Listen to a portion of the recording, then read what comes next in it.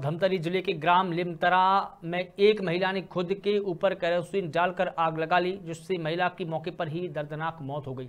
बता दें कि ग्राम लिमतरा निवासी महिला चमेश्वरी साहू शरीर में जुलन जैसी बीमारी से ग्रस्त थी, जिसका लगातार इलाज उसके पति द्वारा कराया जा रहा था।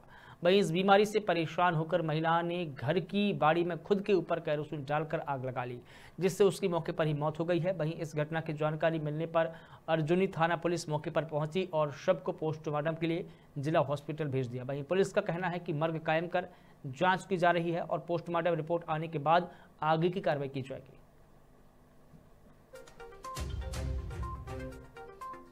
हाँ आगे लगा के आत्मदाह कर ली बोला, दो साल से तकलीफ़ रही सर। वो का है, बाबा सिर के प्रॉब्लम रही से बाबा सिर के ऑपरेशन कराएँ जस्ट। ओकर बाद ओकर रीढ़ के हड्डी में क्रेक आ गई। तो ओकर इलाज के दौरान जैसे ऑपरेशन कराए रहे ना तो बाबा सिर फिर से उभर गए। तो दवाई वो लेना तो ओकर शरीर में पूरा अग्नि जैसी जलन पैदा हो या हाथ पैर मन रुगू रुगू खजवाया सन। ये तकलीफ़ है और शांति नहीं हुई। और वही सब समस्या लेके काहे माइंड थोड़ा डिस्टर्ब लगे ओकर। चिड़चिड़ाहट।